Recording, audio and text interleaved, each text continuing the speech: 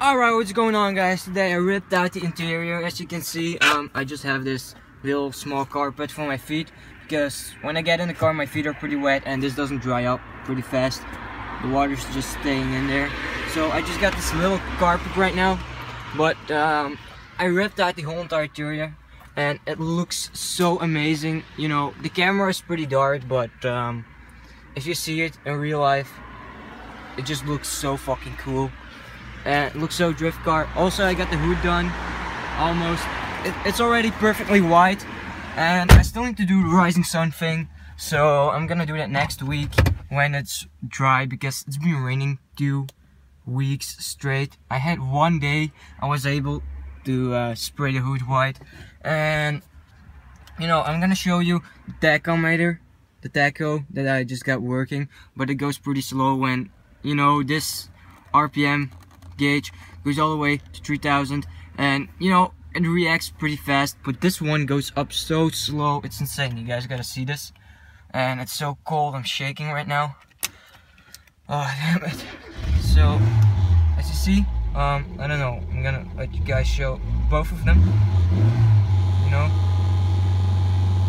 You can see how slow that one goes up. It's insane. I have nothing about this. This you know I'm gonna take this one out.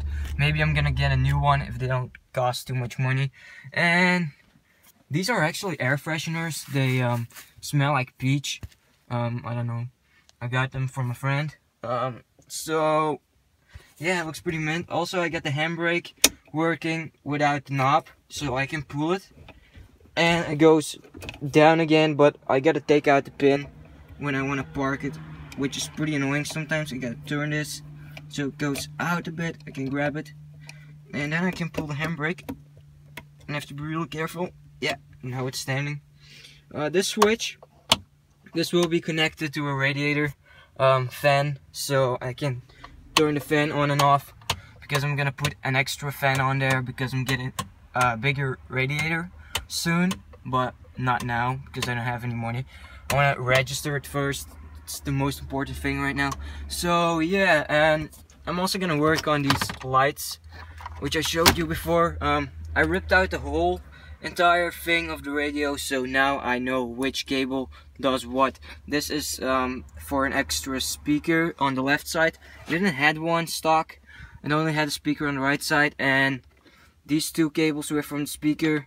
So I just don't know what this thing does. Um, I think it's an extra antenna because it's got an AM and an FM so this is the FM I think this is just an antenna.